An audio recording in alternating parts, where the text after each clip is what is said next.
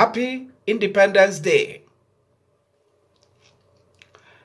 64 years after our independence by our scrupulous, fastidious, energetic, puritanical, and rooting tooting Dr. Kwame Nkrumah.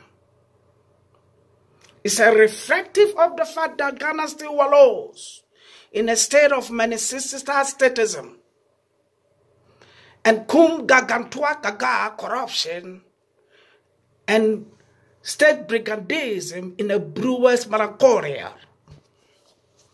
Ghana right now is neither witnessing democracy or witnessing a civilian government. What we have at best is a type of government I call kakis tomobo plutocracy, which is bad for the nation. To me, the belligerent, the rebellious, cantankerous, annihilation and decapitation of our natural resources is sardonic, opprobrious, malevolent, and camoniously exasperating. Also, having listened to the grumpy, peeved, disgruntled, pusillanimous, and tendacious Ghanaians, I want you to follow my unregrettably posterior explicando why I will never go in Diapoho until there's a total capitulation of the promulgated, of the cornucopious uh, and rebarbative corruption policies, which has left Ghanaians flumos, illiterate flumos. Second, the tribal gigonsti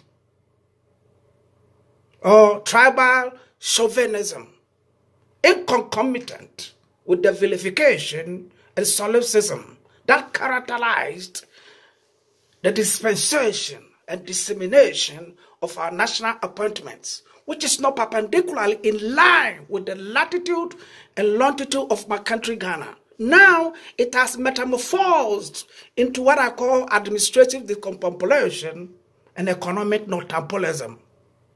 But I pray it does not transmogrifically transmute into a rancorous and political uh, acrimony. Ghana right now is in the financial makosa. The devaluation, dilapidation, obliteration, and decapitation of our currency leave the masses desolate. I wish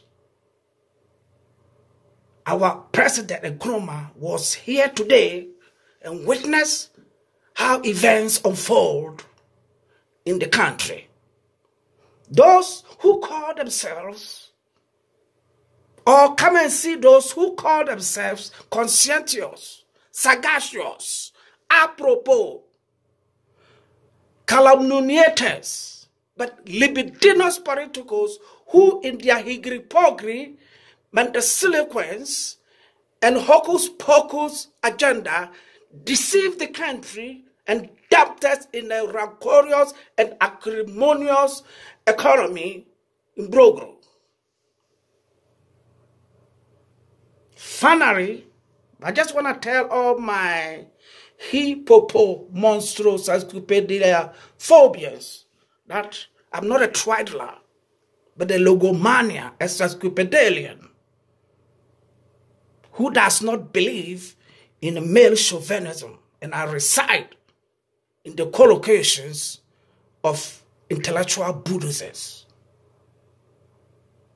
Ghana politicians, one more time, you better change the way you think, or Ghanaians will never cut out in your poho. May God bless our country, Ghana, forever.